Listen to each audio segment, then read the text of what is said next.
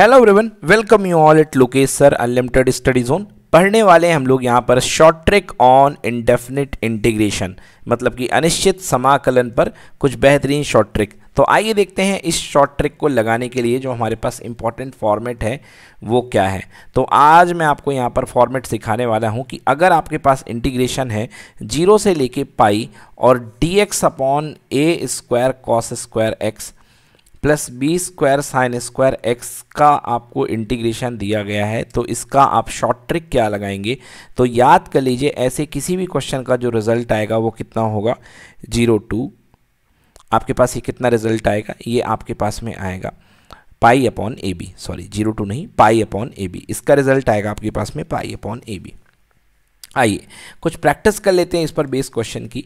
जैसे मान लीजिए आपके पास एग्ज़ाम में आ गया question D X upon thirty six cos square X plus twenty five sine square X ये आपके पास में आंसर आ गया। बहुत प्रैक्टिस करिए इनकी। आप क्या लिखेंगे? बिना कुछ देखे, बिना कुछ पेन चलाए आपको आंसर मन में ही निकाल लेना है। थर्टी सिक्स और ट्वेंटी फाइव का आंसर होगा भाई, पाई बाई थर्टी। इस समस्या का जो आंसर होगा, कितना होगा? Pi by thirty. कैसे होगा भाई? कैसे पता लगाया आपने? भाई, आपको ज़रूरत किसकी होती? है ए की और बी की? बस ए और बी का पता लगा दीजिए, बस लिमिट पहचान लीजिए, ज़ीरो से लेके पाई है और ए से लेके बी है तो भाई देखिए यहाँ पर कितना हो जाएगा। सिक्स का स्क्वायर हो जाता है, thirty six cos square X और प्लस फाइव का स्क्वायर और ये कितना होता है? Sine square X okay? तो इसका आंसर कितना होगा? Pi upon six into five. Answer कितना हो जाएगा इसका? Pi by thirty is the correct answer चलिए अगले क्वेश्चन पे चलते हैं। प्रैक्टिस का एक और नमूना मैं यहाँ पर आपके लिए देखूँगा।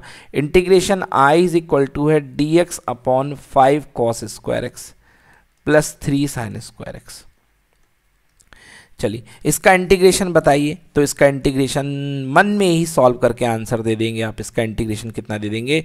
Pi upon under root fifteen pi upon under root fifteen कैसे आया? ओ, सर जी ने लिमिट लगाना तो भूल ही गए। सॉरी बच्चों लिमिट आप लोग लगा लो ज़ीरो से लेके पाई ओके, अब देखिए किस तरीके से आता है ये। बस आप जानते हैं ज़ीरो से लेकर के pi D X upon A square cos square X ना।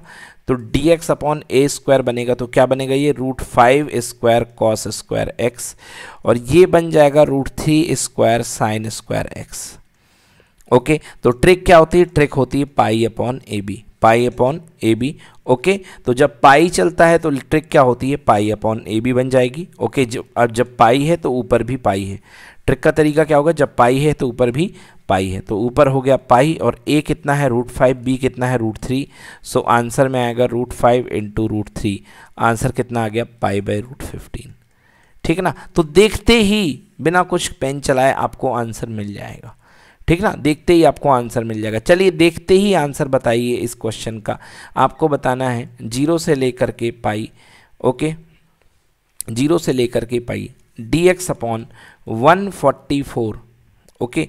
One forty four sine square X plus thirty six cos square X. Answer क्या आएगा भाई साहब? बिल्कुल आंसर आएगा pi upon seventy two. Pi upon seventy two. क्यों?